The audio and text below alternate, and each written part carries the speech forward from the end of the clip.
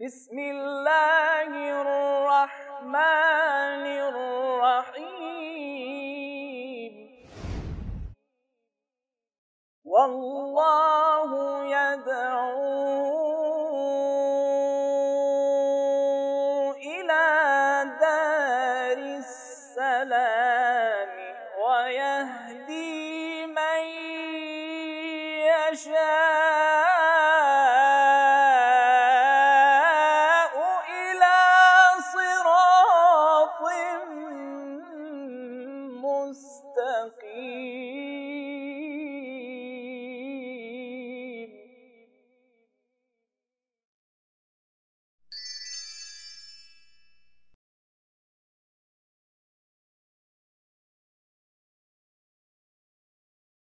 અવઝુબિલ્લાશૈતાનરજીમ બિસ્મિલ્લાહમાનરહીમ વબિહી નસ્તીન વહુવા ખૈરુના શરીન વમઈન મા બાપ વિશે આપણી વાતચીત ચાલી રહી હતી અને એ વાતને સ્પષ્ટ કરવામાં આવી હતી કે મા બાપનો એહતરામ કેવી રીતે કરવો જોઈએ.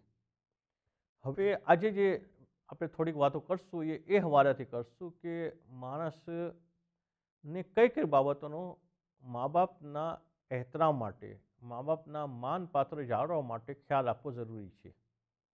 અને કેવી એવી બાબતો છે કે જેનાથી માણસે દૂર રહેવું જરૂરી છે? કે કોઈ એવું કામ ના થાય કે જેમાં મા બાપનું અપમાન હોય? અને એ જ રીતે અગર કોઈ મા બાપનું એહતરામ કરે છે, એનું માન જાળવે છે, તો એને દુનિયાને આખરતમાં શું શું લાભ થાય છે?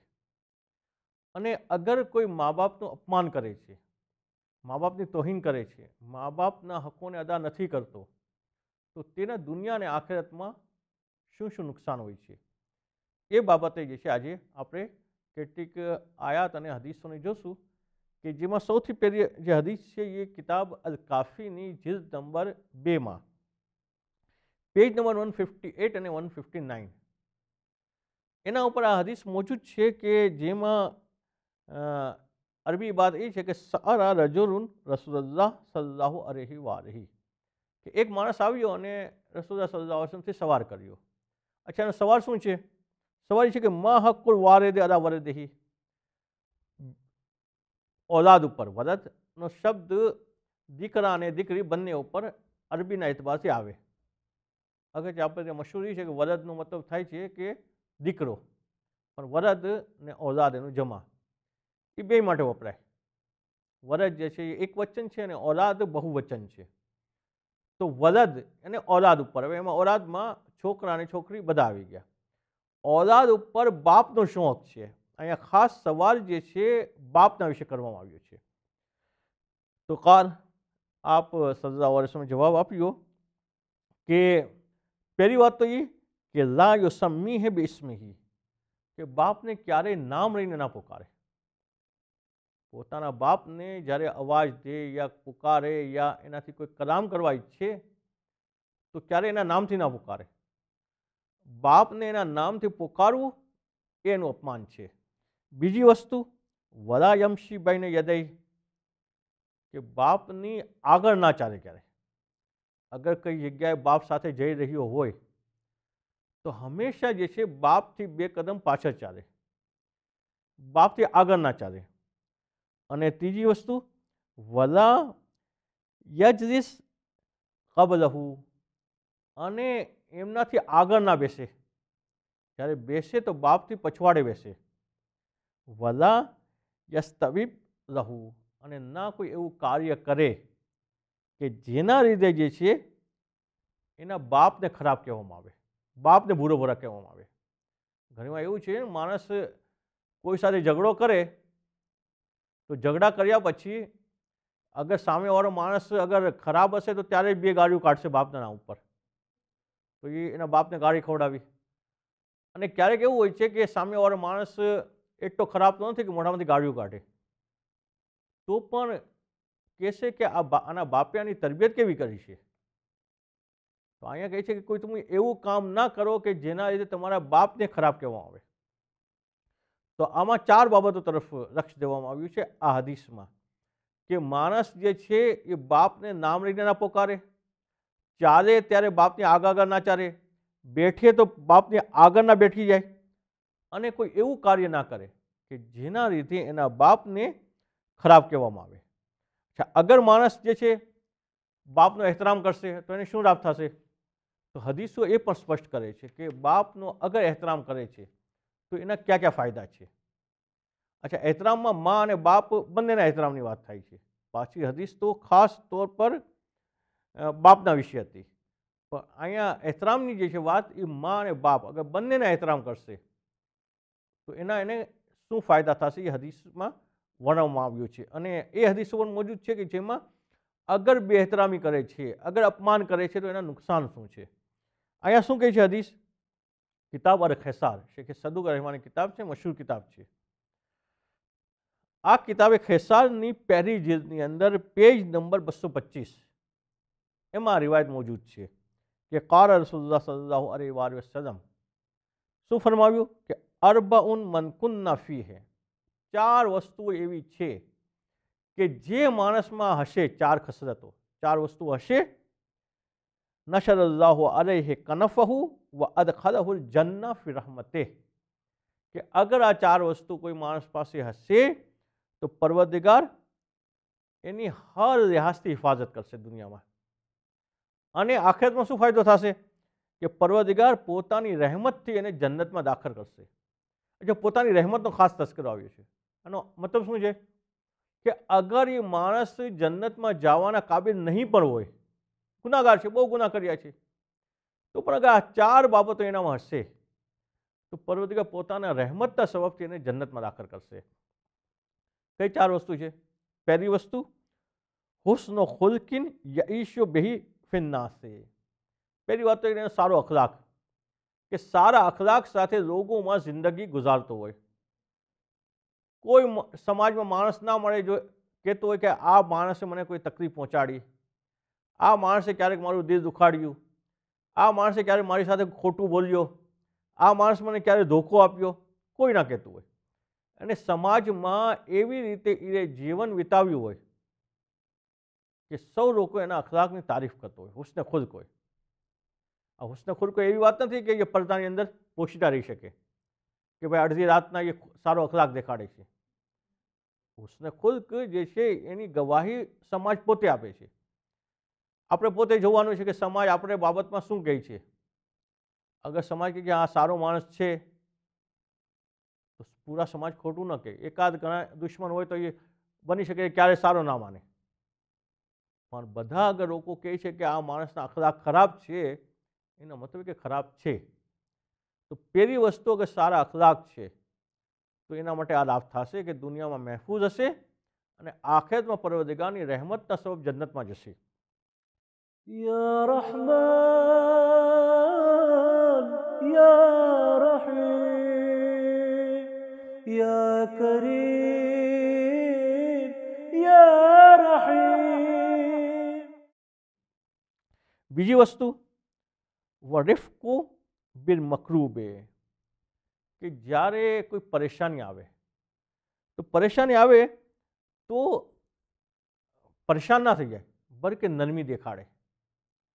અગર કોઈ તરફથી કોઈ શક્તિ થાય કોઈ પ્રોબ્લેમ થાય કોઈ રૂકાવટ આવે તો પોતાની નરમીને ના છોડે અને મકરૂબ કર્બ તકલીફ એના સમયે પણ એ રિફ્કનો ખ્યાલ કરે વ શફકતુન અલલ દૈન અને મા બાપ સાથે શફકતથી પેશ આવે મા બાપ સાથે નન દીદીથી પેશ આવે મા બાપ સાથે સારા અખલાકથી પેશ આવે આ વસ્તુ છે જે એને જન્નતમાં લઈ જશે આ વસ્તુ છે જે એને દુનિયામાં મહેફૂઝ કરી દેશે.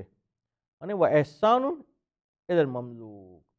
અને પોતાના નોકર ચાકર ઉપર મહેરબાની કરે, નેકી કરે.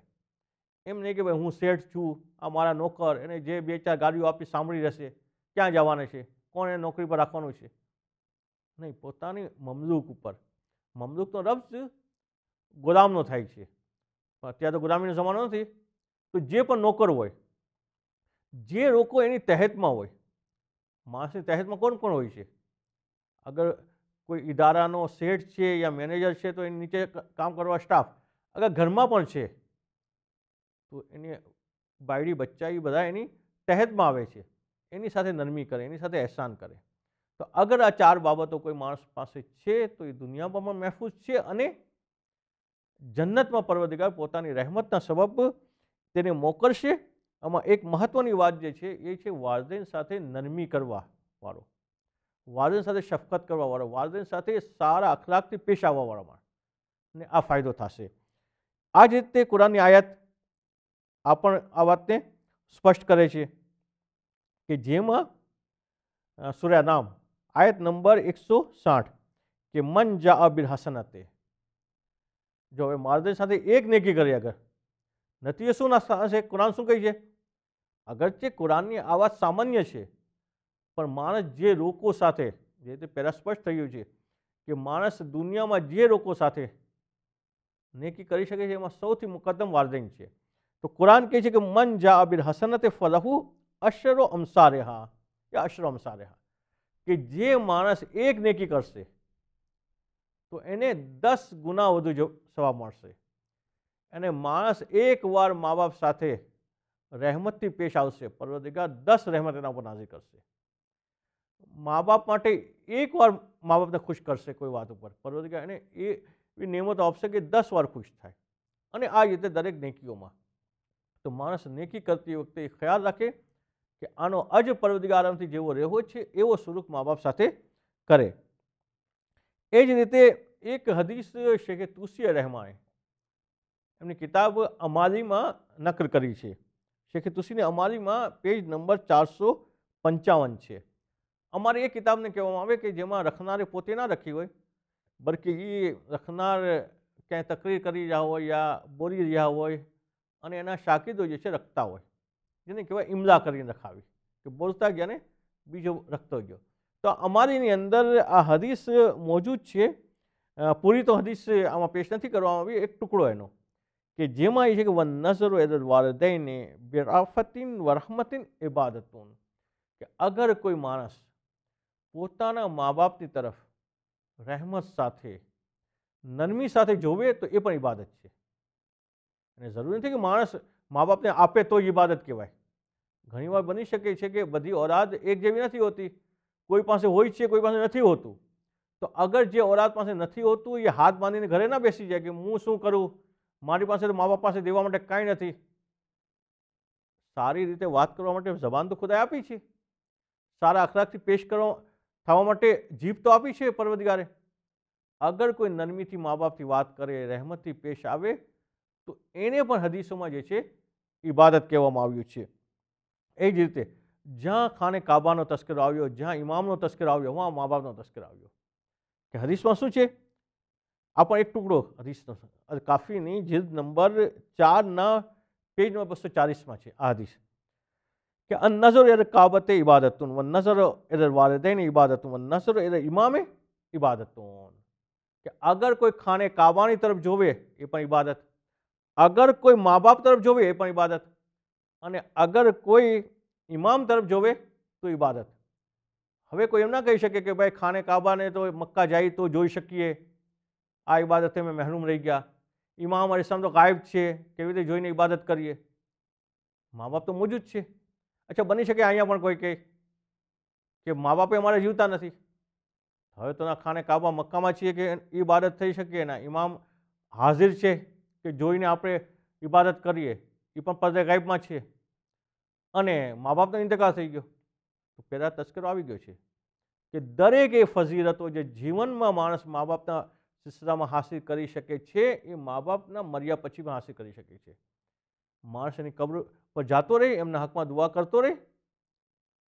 જ્યારે એ દુઆ કરશે, ત્યાં સુધી કહેવામાં આવ્યું છે. અત્યારે એ સમય એટલો બાકી નથી રહ્યો કે આપણે એ રિવાયતો ઉપર તરફ રક્ષ આપી કે ત્યાં સુધી કહેવામાં આવ્યું છે કે જેવી રીતે મા બાપ જીવનમાં પોતાની ઓલાદ માટે દુઆ કરે છે, મરવા પછી પણ એ પોતાની ઓલાદ માટે દુઆ કરતા હોય છે. જ્યારે એને ખબર પડે છે કે પોતાની ઓલાદ પરેશાન છે, તો મા બાપ તરફથી દુઆ નીકળે છે. એટલે જ કહેવામાં આવે છે કે અગર કોઈ માણસ બહુ પરેશાનીમાં હોય યા કોઈ એવા મસલામાં સપડાઈ જાય, એવા પ્રોબ્લેમ્સમાં આવી જાય કે કોઈ એનો ઉકેલ ના મળતો એને, તો તે મા બાપની કબર ઉપર જાય અને મા બાપની કબર ઉપર જઈને પરવર્તી આરામથી દુઆ માંગે. આ એવો સમય હોય છે કે જ્યાં એ કહેવામાં આવ્યું છે કે એ એનો મસલો હર થઈ જશે અને એની દુઆ જે છે એ પૂરી થઈ જશે. તો એ જ રીતે હવે તો સમય વધુ બાકી નથી જો અગર માણસ એહતરામ નથી કરતો, તો એના નુકસાન શું છે? ઘણી રિવાયતો કહે છે કે એ માણસની ઇબાદત કબૂલ નથી. હદીસો મોજૂદ છે. એવી કે જેમાં કહેવામાં આવ્યું છે કે અગર મા બાપની કોઈ બેહતરામી કરે, તો એની ઇબાદત કાબિલે કબૂલ નથી. ત્યાં સુધી કહેવામાં આવ્યું છે કે અગર મા બાપનો એહતરામ ન કરે, તો દુઆ રદ થઈ જશે. અગર મા બાપની કોઈ તોહીન કરે અપમાન કરે. ખુદા બચાવે એવા કામથી દરેક મોમિનને. કે માણસ એટલો ન પડી જાય. કે મા બાપની તોહીન કરવા લાગે. મા બાપની સામે જબાન ચલાવવા માંગે. મા બાપને ઝીડકવા માંગે. કાફીરોમાં તો બની શકે કે આવું થાય. મુસલમાનમાં. તો મુશ્કેલ છે અને મોમિનમાં તો અશક્ય છે કે આવું કોઈ કરતું હોય. પણ અગર કોઈ કરતું હોય, તો એના માટે કહેવામાં આવે છે કે તોફિક સર્વ થઈ જશે. પછી એ નેક કામોથી દૂર ભાગતો જશે. નેક કામ કરવાનું જે પહેલાં દિલ થતું હતું એ દિલ થવું ઓછું થઈ જશે તો કેટલાક નુકસાનો અ, આ છે અને બીજી પણ કેટલીક બાબતો છે પણ હવે સમય નથી રહ્યો કે માત્ર આપણે અહીં સુધી રાખીએ છીએ અ, બીજી બાબતો ઉપર એમને અખલાકમાં આપણે વાત કરશું વસલ્લુ અલેહ વ અલહી અલ્લાહુમ સલ્લી અલા મુહમ્મદિન વ આલે મુહમ્મદ